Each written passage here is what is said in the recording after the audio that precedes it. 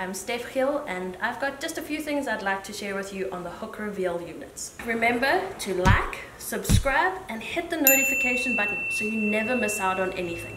And I'm going to run through a couple of things on the hook reveal today. Uh, specifically, um, we're going to go through the functionalities of the buttons, um, how they work and you know just navigating you through all the different options available. Um, obviously, um, so we're having a look at the, the Hook 9 reveal. Um, there are quite a few different button options here available for you.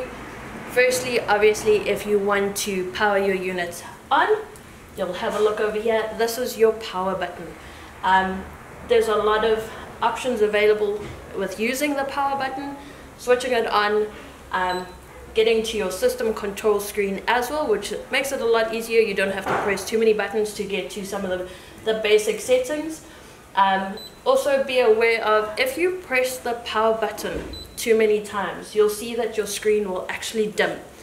Um, and you'll think, oh, something's wrong with my screen. Actually, you've just sw switched off the backlight.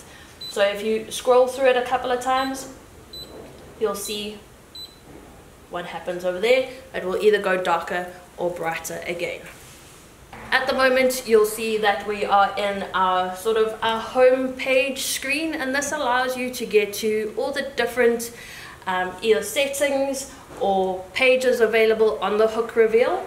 Um, and this over here is your navigation. So you can either scroll across to the left or to the right down or up um, if you're wanting to go into your chart page, all you're going to have to do is click on this button over here. This is your enter button.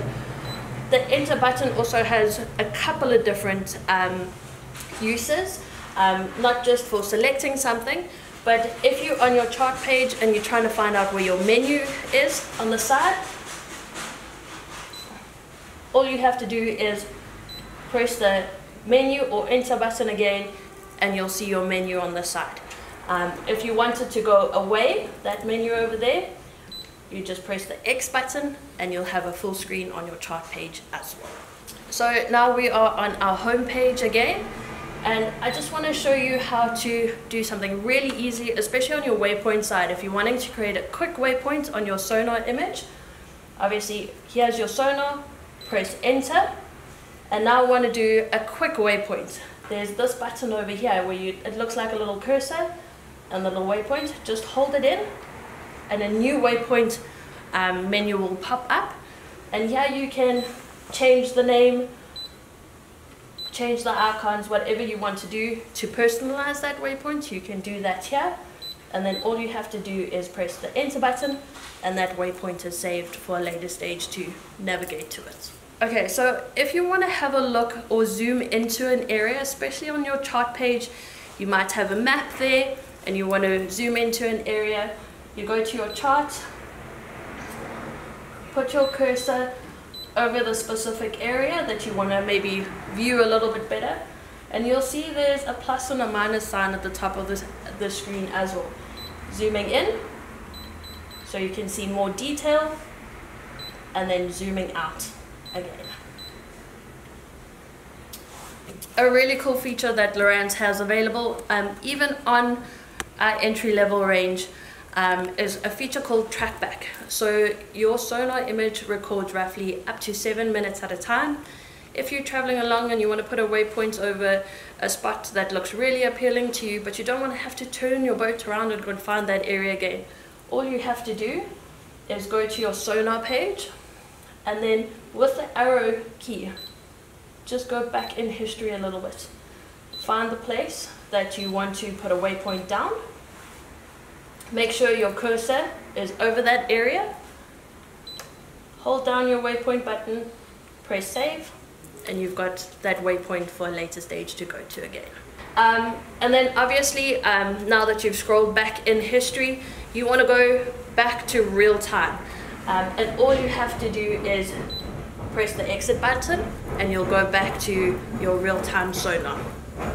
Okay, so the hook reveal range has got five different screen sizes. There's a 5, a 7 and a 9 inch. Um, there are different transducers available for each uh, screen size. Um, but particularly one of the things that I just want to mention to you guys is the SD card slots. These are Fish Finders and chart plotters. So you can add an SD card, whether it's a mapping card or a blank SD card to save your waypoints or maybe do live mapping with. On the 5 inch, you'll find it here on the side.